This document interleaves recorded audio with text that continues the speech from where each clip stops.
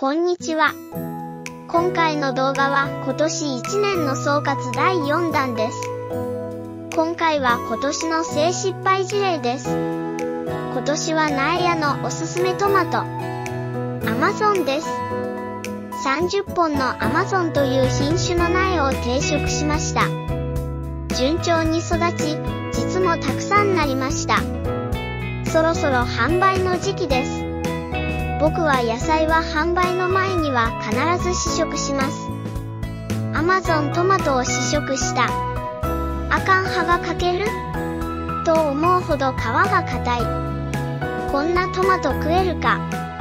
そもそも苗の購入前によく特徴を聞いておけばよかった。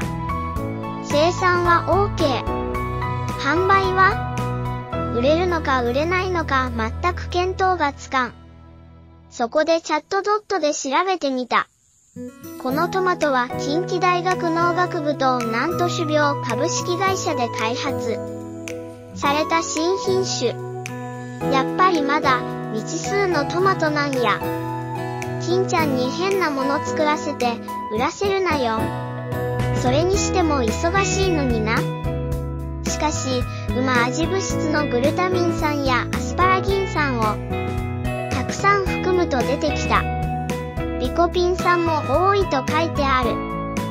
見た目はゼブラ柄の褐色で面白い。アマゾンの名前はアマゾンの熱帯雨林を連想して付けたらしい。食べ方は生でも食べられるが火を通すと旨味が増すためにスープには最適と書いてある。そんなこと考えているうちに販売のチャンスを失って、気がついたら販売のタイミングを失った。すべてのトマトはゴミとなったのである。僕の頭の中には、作れるが、販売は宇宙人しか食べない。という意識が大きい。誰か、このトマトが売れている。美味しい。作ってほしい。とか意見があったら教えてほしい。まだトマトの定食までは時間がある。売れるならぜひとも作りたい。皆さんのご意見をお待ちしています。よろしくお願いします。今回も AI を使って動画を作りました。AI は使うと声作り、音楽、写真は AI がやってくれます。が、文字、考え方は自分で動画に合わない写真、動画は差し替えています。